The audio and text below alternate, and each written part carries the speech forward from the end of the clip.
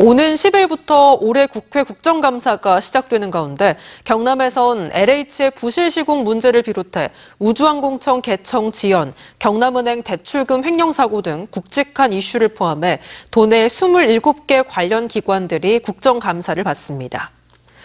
국감 주요 일정으로 오는 16일 국회에서 LH 국감을 비롯해 20일 진해신항 문제를 다룰 부산해양항만공사의 국정감사가 진행되고 24일에는 사천 우주항공청 개청 등 관련 현안이 27일에는 금융감독원 종합감사가 예정돼 있습니다.